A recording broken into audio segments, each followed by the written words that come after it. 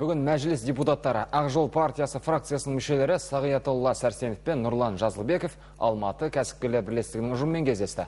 Мақсат ел президентінің жолдауын талқылап, жүктелген міндеттер мен тапсырмаларды талдау. Депутаттар іскер топ өкілдерінің арыз шағымдары мен өтініштерін тыңдап, парламентте көтермекке уәде етті. Кәсіпкерлердің айтуынша бұл ақжолдықтардың тек сайлау алды бағдарламасын іске асыруының айғағы ғана емес, отандық кәсіпкерлерді шынайы қолдауының белгісі.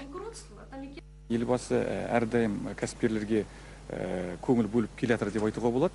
Бірақ та мәселе ол ә, жаңа айтылып жатқан ә, шаруалардың біз егер қоғамдық ұйымдар осындар партиялар депутаттар егер біз осындай қойылып жатқан мақсаттарға араласып сол шаралардың қалай орындалып жатқанын қадағалап ішінде жүрмесек онда бұл шаралар